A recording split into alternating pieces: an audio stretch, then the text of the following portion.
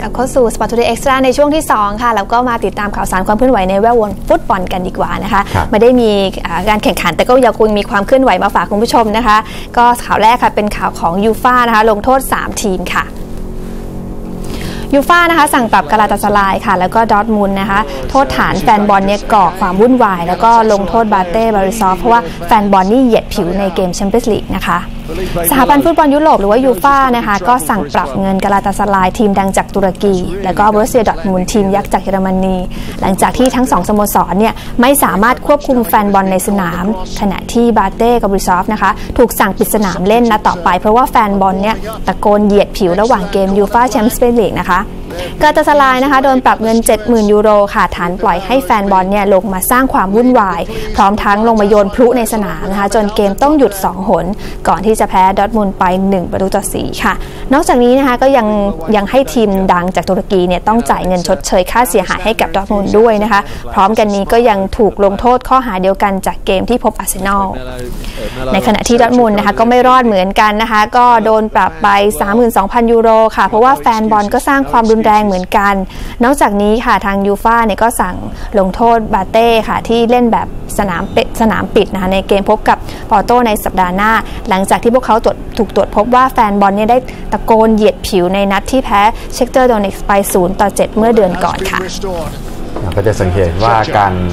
เอ่อลงโทษของทางสหพันธ์ฟุตบอลทั้งยุโรปหรือว่าฟีฟ่านั้นจะเน้นในเรื่องของการเหยียดผิวนะครับค่ะเนื่องจากว่าก่อนเริ่มต้นทำการแข่งขันฟุตบอลยุโรปเนี่ย ทางยูฟ่าก็มีการให้ขึ้นป้ายครับที่จะต่อต้านการเหยียดผิวนะครับ พอมีเหตุการณ์แบบนี้ขึ้นก็สั่งปิดสนามเลยนะครับ ซึ่งก็ร้ายแรงกว่าปรับเงินนะครับ They don't do ต้องไป very สาม well ทีมเลยครับผม Too many in the wrong area. On a yellow card for his reaction, and he's prepared to continue the argument with Dario Serna. ในส่วนของวงการฟุตบอลแน่นอนว่าเรื่องของธุรกิจนะครับก็เข้ามามีส่วนเกี่ยวข้องแบบเต็มตัวแน่นอนนะครับในยุคนี้ โดยที่ชื่อสนามนี่ก็เป็นส่วนหนึ่งที่ทำให้สโมสรนั้นได้รายได้อยู่มหาศาลนะครับบางครั้งสโมสรบางสโมสรขายชื่อของสนามไป ซึ่งก็ทำให้แฟนบอลอาจจะไม่พอใจเหมือนกันนะครับ แต่ว่าล่าสุดนะครับทางฝั่งของเรอัลมาดริดนะครับ ทางประธานสโมสรนะครับฟลอเรนติโนเปเรซก็หลุดปากนะครับกับสื่อบอกว่าอาจจะยอมขายชื่อสนามซานติอาโกเบอร์นาเบวนะครับโดยที่เรอัลมาดริดนั้นเซ็นสัญญากับผู้สนับสนุนรายใหม่นะครับเมื่อปลายเดือนตุลาคมนะครับโดยที่มีการร่วมมือกันกับ International Petroleum Investment Company หรือว่า IPIC นะครับจากทางอาบูดาบีนะครับเป็นบริษัทเกี่ยวกับเอ่อเชื้อเพลิงนะครับ มาริดนั้นต้องการเงิน 400 ล้านยูโรครับเพื่อปรับปรุงซานติโกเบอร์นาบิลถึงแม้ว่าเรื่องนี้จะยังไม่มีใครพูดถึงรายละเอียดต่างๆ ก็ตามนะครับแต่ว่านอกจากนี้ก็ยังมีข่าวเพิ่มเติมเมื่อวันอังคารนะครับว่าพวกเขายังประกาศได้เอ่อ Microsoft นะครับเข้ามาเป็นผู้สนับสนุนทีมอีกด้วยนะครับ พร้อมทั้งยังมีการถ่ายทอดสดทางอากาศ โดยที่มีลูเซีย ฟิกามัวนะครับ ประธานกระทรวงศึกษาธิการ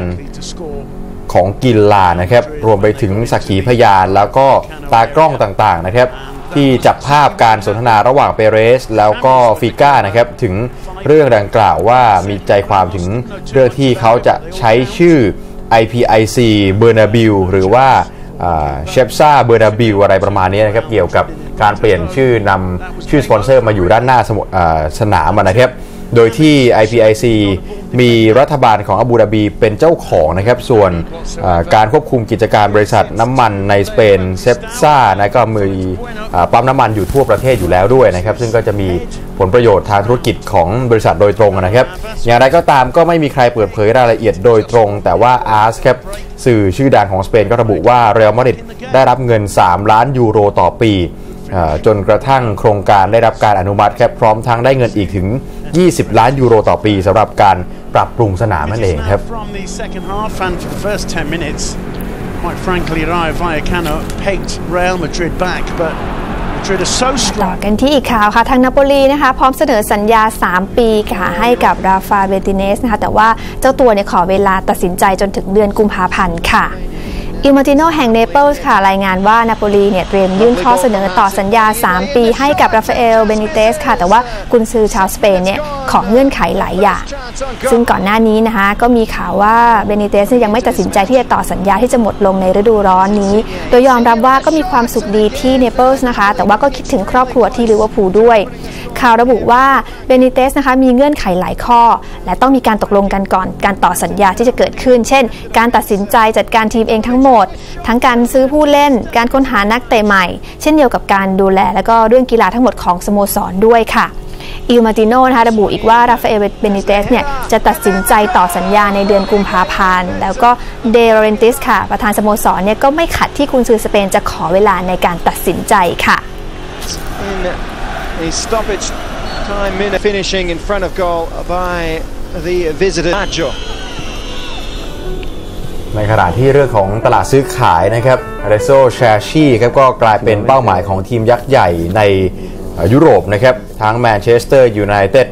รวมไปถึงอาร์เซนอลและอาจจะมีอินเตอร์มิลานคาบเกี่ยวอีกทีมหนึ่งนะครับ ที่เพิ่งจะได้โรแบร์โตมันชินี่เข้ามาเป็นกุนซือคนใหม่นะครับ ก็มีหลายทีมต้องการมิดฟิลด์ที่โชว์ฟอร์มได้อย่างยอดเยี่ยมในช่วงนี้มาเสริมทัพนะครับแชร์ชี่ก็เป็นตัวหลักของทีมชาติอิตาลีแต่ว่าพอไปอยู่กับแอตเลติโกมาดริดเมื่อต้นเดือน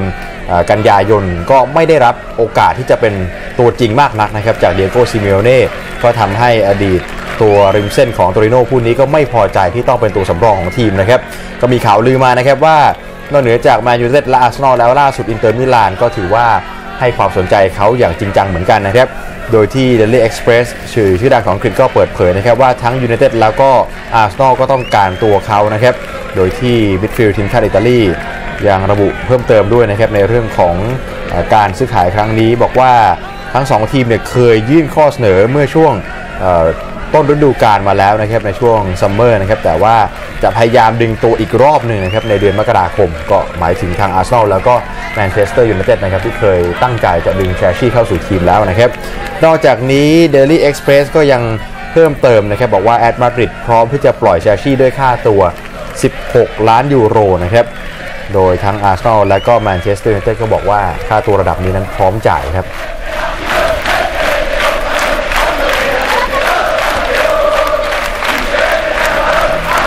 มาต่อกันที่ข่าวของทางฟิออเรนติน่านะคะ ที่อาจจะขอยืมตัวของชิโร่อิมโมบิเล่จากดอร์ทมุนด์ในเดือนมกราคมนี้ค่ะ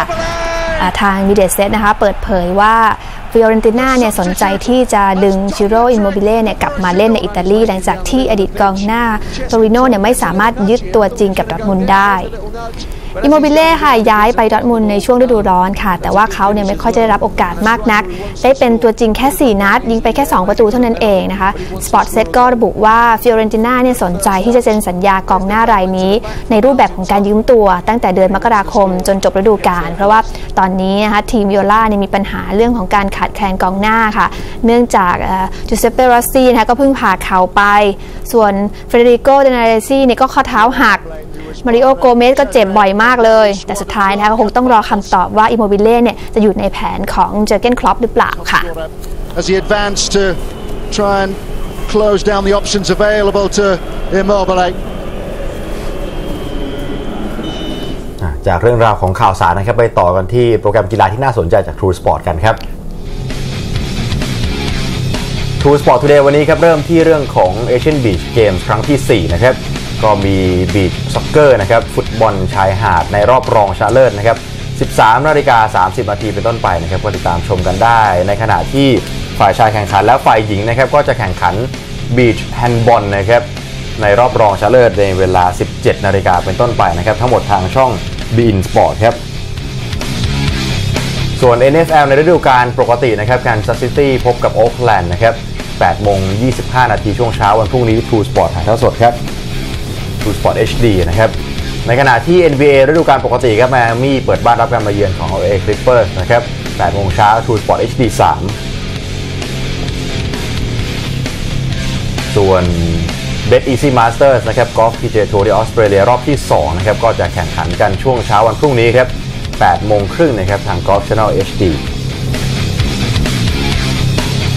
ส่วน Golf European Tour นะครับ DP World Tour Championship ในรอบแรก 14 นาฬิกาเป็นต้นไปนะครับ ทาง Golf Channel HD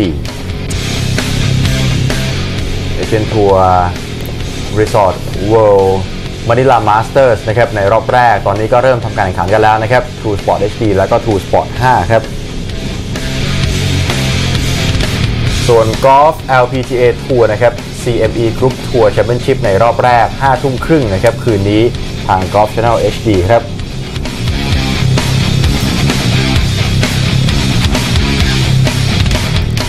ทุกท่านก็สามารถนะคะติดตามนะคะ เรียกว่าผลเอ่อตารางการถ่ายทอดสดของแต่ละชนิดกีฬาได้นะคะ รวมถึงผลการแข่งขัน แล้วก็ความเคลื่อนไหวของกีฬาอื่น ๆ ได้ค่ะ ทาง Facebook Fanpage ของรายการของเรานะคะ www.facebook.com/sp แล้วก็เลข 2 ค่ะ แล้วก็เดย์นะคะก็สามารถเข้าไปกดไลค์แล้วก็แนะนำแล้วก็ติดชมได้ด้วยค่ะครับค่ะน้องก๊อฟค่ะน้องก๊อฟชอบวิ่งออกกำลังกายไหมคะแน่วิ่งนอนมาราธอนอะไรเงี้ยช่วงหลังค่ะอาจจะวิ่งน้อยแต่ว่าแน่นอนว่าเรื่องของการออกกำลังกายด้วยการวิ่งนั้นเป็นปัจจัยสำคัญของชีวิตเราเลยทีเดียวใช่แล้วนะคะเมื่อวันอาที่ที่ผ่านมาก็เพิ่งมีงานใหญ่ของกรุงเทพไปกรุงเทพครับมาราธอนนะคะอ่าแต่ว่ากำลังจะมีงานใหญ่ที่จะเกิดขึ้นนั่นก็คือวีรัน BKK นั่นเองค่ะ ซึ่งก็กำลังจะมาแล้วแต่ว่าเราจะวันนี้เรามีภาพเรียกน้ำย่อยให้กับคุณผู้ชมนะคะ เป็นบรรยากาศของวีรันที่ปรากนะคะครับเอ่อปี 2014 ในปลายเดือนสิงหาคมที่ผ่านมาค่ะ ซึ่งเราก็จะทิ้งท้ายสรุปไปเรื่องอ่าด้วยภาพเรียกน้ำย่อยอันนี้นั่นเองครับผมแน่นะนอนคะว่าบรรยากาศที่บ้านเราคงไม่เป็นรองแน่นอนนะครับค่ะปิดท้ายกันไปนะครับ วันนี้เวลาหมดนะครับในช่วงเที่ยง 19นาฬิกา30นาทีครับหนึ่งทุ่มครึ่ง ติดตามชมรายการ Sport Today กันได้ใหม่ครับทางช่อง True Sport 2เหมือนเดิมนะครับ ช่วงนี้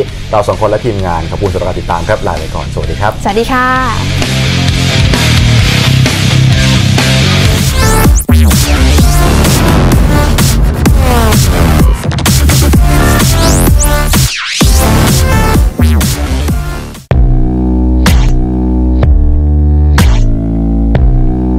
I try not to let this get bigger than it